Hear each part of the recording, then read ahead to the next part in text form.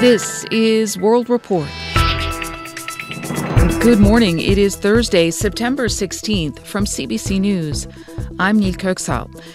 Alberta Premier Jason Kenney is making a stunning reversal to his public health restrictions connected to this pandemic. Alberta has been the most reluctant to impose public health restrictions, but the province's healthcare system could be overwhelmed in just 10 days. So Kenney is now doing what for months he adamantly said he would never do.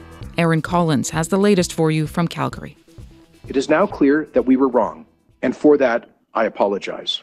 Alberta Premier Jason Kenney sorry for leading his province into a devastating fourth wave, not sorry for the same thing. I don't apologize for the decision to relax public health restrictions in the summer. More mixed messaging from a premier under siege, absent during this building crisis for nearly two weeks, finally acting. We must deal with the reality that we are facing. We cannot wish it away. Kenney announced a suite of new measures, among them a ban on in home visits for the unvaccinated and an end to indoor dining in bars and restaurants, a rule that can be avoided if businesses limit entry to the vaccinated.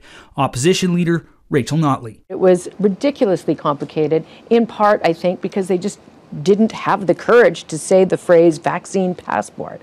Calgary Chamber of Commerce head Deb Yedlin also critical of the passport plan. That's not helpful because what it is is you're still nibbling around the edges and there isn't one rule for everybody. Political scientist Duane Bratt says Kenney's political future is now in doubt. It's better than doing nothing, but it's not going to satisfy anybody. Discontent that will mean pushback from many Albertans and from members of Jason Kenney's own government. Erin Collins, CBC